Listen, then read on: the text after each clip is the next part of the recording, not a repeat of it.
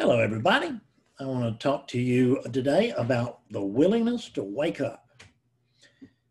Now, when I talk about this willingness to wake up, it's sort of, it feels funny because I know that when I was a seeker, there was just this dying urge to wake up. I mean, I just had to wake up. I just wanted to wake up so very, very badly.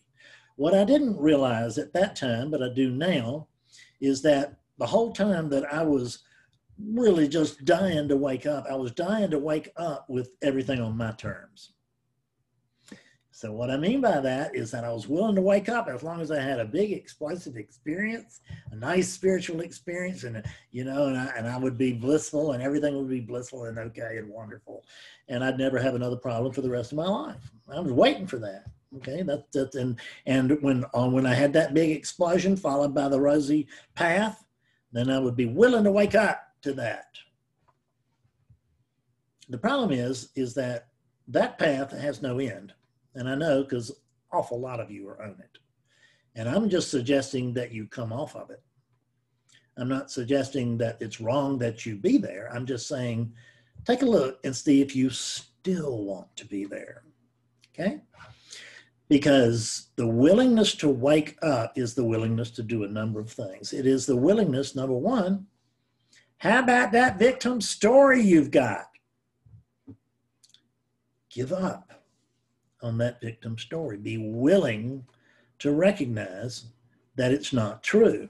Because the thing is, is to understand that when you wake up, whenever anybody wakes up, the, the one of the first things that they're going to notice, if not in these words and in something similar, is that they've been wrong about everything their whole life. That's what I realized. Gee whiz, I've been wrong about everything my whole life. no exceptions. That's, that's how far awakeness cuts. It goes right to the bone.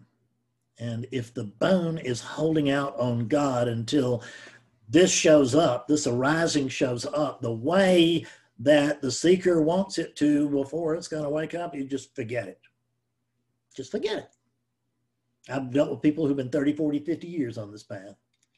Not this path. This this doesn't have a path, but on the well, the so-called spiritual path. And they've been waiting because they knew they were going to get it really soon. They were going to get it right after. They were you're going to get it just beyond. See, but you're never going to get it. You get it or you don't. And when you get it, you don't understand it. It means that you grok it. it means that you, awakeness, understand that true nature, it's when true nature discovers that it's true nature and not one of these. That's what awakening is. It's true nature is waking, wakes up to its own true nature. It's not like there's a Fred that wakes up to true nature over there. There's there is no over there over there. There's only me. There is only this and you may not like what you see, but you may as well get used to it because this ain't going anywhere until it does. And that's not up to me or you. There'll just be a checking out of the unit, we should say, which it, it happens, you know, it happens to all of them. I can't stand this. just love that compulsivity, don't you? I don't care what's going on. That statue is crooked and it's driving me crazy. so there is, I was unwilling to let that stay there just because it's not in the nature of the unit. There's no I who was unwilling. It's just a way of speaking. There was an unwillingness to live with the statue being like that. How do we know? Because the unit moved to straighten it out. Did I make that decision? Well, who are you talking about? There's no Fred Davis here to make a decision about what Fred Davis should do. There's only, there's a unit here and speaking through this unit, there's a certain awakeness. You'll notice that because it's the very same awakeness that is hearing these words. The very same awakeness that's speaking these words is the very same awakeness that's hearing these words right now. So there has to be the willingness to wake up right now. There has to be the willingness to be wrong. There has to be the willingness to drop the victim story. You have to want to wake up more than you want to stay asleep. That comes from willingness. Now, who am I talking about? These are just words. I can't actually tell you the truth. So I'm telling you what it feels like. And that'll just have to be close enough. It's, it's yours from there. It's my job to present the truth. It's your job to take it if you want to. And if you don't, no skin off my teeth, right? The, I'm not here to just again an awakening session. I'm not there to wake anybody up. I'm there to see if there's somebody there that wants to wake up. Because if there is, they will. And if there's not, they won't. And I don't control that. Nobody controls that. It happens or it doesn't. There's no comparison of that. There's never been an awakening session where somebody didn't wake up where they should have. And there's no never been an awakening session where some somebody uh, didn't wake up and they should have, or someone did wake up when they shouldn't. There's only this, there's no comparison to this. You'll notice that. Remember, Krishnamurti said that suffering begins with comparison. So there's no comparison to this. There is no alternative to this. There's just this. And what I want you to notice is that not only is there just this, but there's just this as it is. That as it is part is hard to swallow, but we got to swallow it. But when I say we got to swallow it, what we got to all we all that ha- I say that as if there's somebody here. We're just using words. There is, there will be a sense that there's like there's someone who got something, but that's just what it looks like from the outside. From over here, it won't be somebody that got something it'll be nothing that just got nothing. That's the truth. It'll be nothing that just got, just came to see nothing.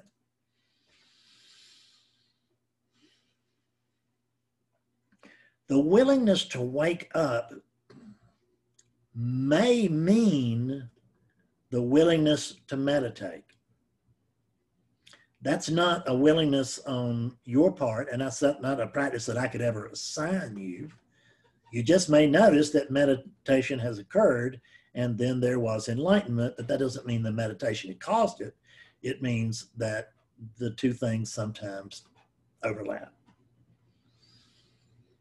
There's no other practice that I can give you other than to suggest non dual inquiry but there's no, and, and even, and I'm not giving that to you. I'm just suggesting non-dual in, uh, inquiry take place, and it'll look like there's a me and a you, and that we're doing it, but there won't be. There'll just be one of us in a chair, or two of us and talking to each other, whatever. Inquiry will take place. No one will do it. No one will get it. Enlightenment will occur, but not to anybody. If you witness somebody being enlightened, you're witnessing a lie. you, you're, you're the one telling yourself the lie, which is, wow, look at that guy. He's waking up. I can't believe it. I wish I was waking up. Nope, there's no guy over there that's waking up. So there has to be the willingness to be nothing. That is not an easy pill to swallow, is it? The willingness to be no thing. Because there's that's what that that's actually what you are. You're not some fabulous creature or some wise old lady on a throne or something. You are uh, you're this. You're what's talking, you're what's hearing. You're what's willing to come to see the truth. Or you're what's not willing to come to see the truth. But it's not really that there's a you over there or that there's anyone who comes to see the truth. It's just a willingness. There's just a willingness to accept this as it is. There's just a willingness to see that there's no other course, that there's no better way. If it's raining, it's raining. I don't give a damn about what should be going on because there is no what should be going on. It's raining. And if I'm trying to live outside of the rain, I'm living in the rain. I'm not only insane, I'm suffering and insane. Willingness becomes the willingness to go beyond what you know. And I don't know how that happens. It just does sometimes, and sometimes it doesn't. But honestly, it, it, it appears to me that that can be encouraged. It looks like I can encourage it. It looks like I do on a very regular basis. But when I say that, I'm speaking kind of from the Fred unit, which is a non existent position, but we're, you know, sounds good. I am so sorry. I wish that I could just sit down and just tell you, just put it out there. This is the way it is. Well, I can do that because this is the way that it is. What's that mean? It doesn't mean anything. What's the purpose of this? Whatever you assign. In other words, there's not anything that I can explain to you because in even talking about explaining something to you, what I'm doing up is is reaffirming the idea in your head that there's a you over there. And there, there's an enlightened Fred Davis over here that is trying to help you, the poor slow one, get to where you ought to be. You ought to be enlightened too. You should be enlightened like me. There's no one that's enlightened. There's enlightenment, but nobody has it. Nobody gets it. Nobody lives it. Enlightenment lives as enlightenment. That's it. But there's not like when we're talking about abundance, it's not like there's a Fred Davis who suddenly gets the magical something and then walks around knowing this magical something all the time. It can kind of feel a little bit like that, but it's not true. There's no Fred Davis. There is awakeness. There is a, there is indeed some localized attention here. But this localized attention, typically, I'm not talking about me necessarily, might be talking about me as well. Certainly in the old days, I can tell you it was me. That this attention that's right here, right now, it was unwilling to pay any attention to itself. It paid attention to the content of this arising. What can I fix? What can I get? What can I do? What can I improve? What can I tweak? It was all about the content and never about the contenter. never it was all about the the experience and not about the experiencer see and the these experiences come and go you'll notice quite rapidly they come they go they come they go you can't get attached to any of these experiences well i mean you can but you'll suffer if you do so you know make that deal with yourself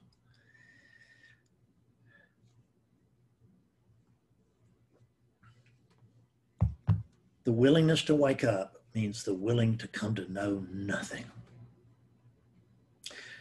When prior to enlightenment, I thought that when I woke up, I would suddenly know everything.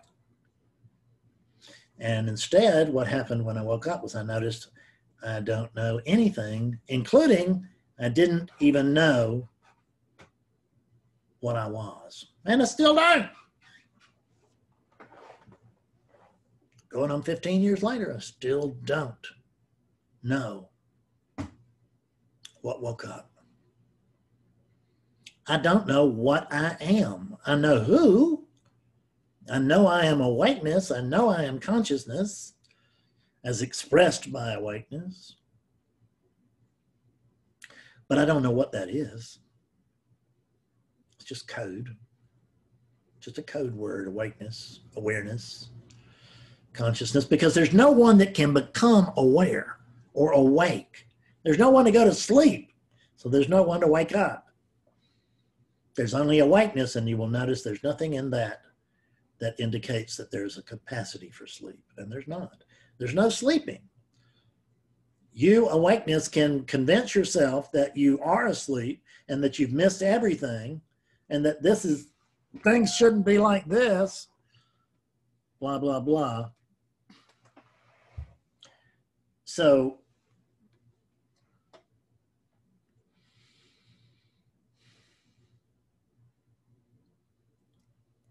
be willing to drop everything.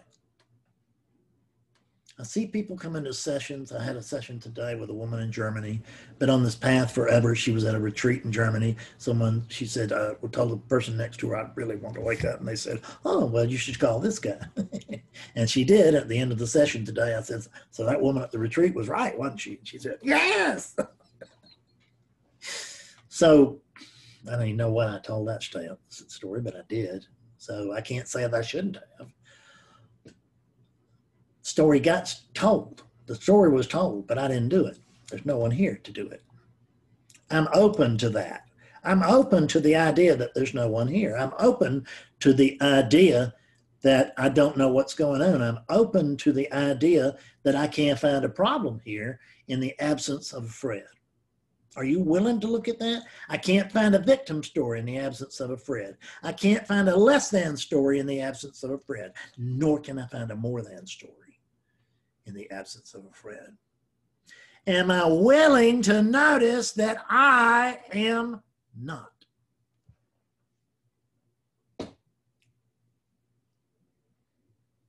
Your true nature is not really it's a subtle presence. It's really a subtle absence. It is by your absence that all of this presence can present itself. This is not other than you, but it's not equal to you.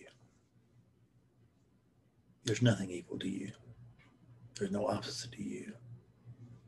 Just this, as it is. And then what we can get to a place where we come to see, hell, there's not even this. but we won't go there right now. Okay, you can come to come. We can go there in private session, maybe, or maybe even a satsang, but not here. I have done it here, but uh, you know, it's just not. It doesn't. It doesn't. It doesn't work the way I would like it to.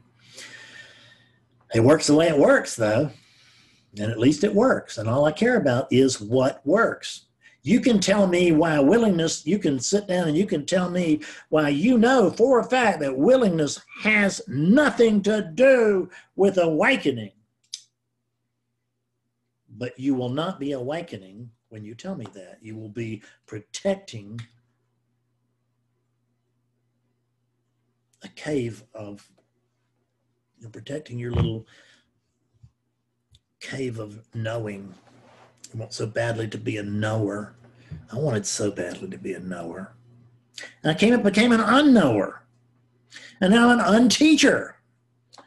Right? And I'm working on a, a, a book that's got un in the title. I got three already. Now there's the fourth one coming. It's got a un in the title. I won't tell you the name of it though because somebody as sure as God will steal it before I get to it. So, not that there's anybody else, but they're, you know, from this unit standpoint, it's got its own fish to fry. this unit's got a house payment and a, and a car payment, and it's got a wife that stays hungry and two little dogs that never heard anything of anything but more. Give me more of all this good stuff. When you come to see the truth, more, the craving for more actually drops away. And it may away, drop away gradually, but it's dropped away gradually here. I can't say it's not that it's gone. The unit can still enjoy shopping on Amazon, but I don't need anything. I need Amazon like I need a hole in the head. I need planet Earth like I need a hole in the head. This is just a story that I have an important teaching because there's no one here to have it. The living method may be an important teaching, but if, if so, it's not because it's my teaching, it's because it's yours. You left it for yourself like an alarm clock in the drain so that you could wake up very swiftly and easily through any unit that was willing. I'm sorry, this has turned out to be a kind of a silly video, really, but it's dead serious because it's the insistence on having truth be something other than this. It's the insistence on having oneness not look like this, not be like this. It's the insistence on insistence instead of the willingness to just be willing. There's an attitude of openness, meaning that things come in, there's a, a there's a little examination, and then out that thought goes. Now I can believe that thought or not believe that. If I believe that thought, likelihood is I'm going to suffer from it. Because as soon as I believe that thought, there's going to be a believer. And once there's a believer, you're down the rabbit hole. So I think I'll just go ahead and close out. Um, thanks a million for tuning in. Don't forget that there's the other channel, the um, Fred Davis Satsang channel. You can just put that in, uh, probably put it in Google and come up with it. Certainly you can put it into YouTube and come up with it. Whole new set of things that Roland is taking care of for us over there. So I thank you so much. I love you. I'll see you later. Bye.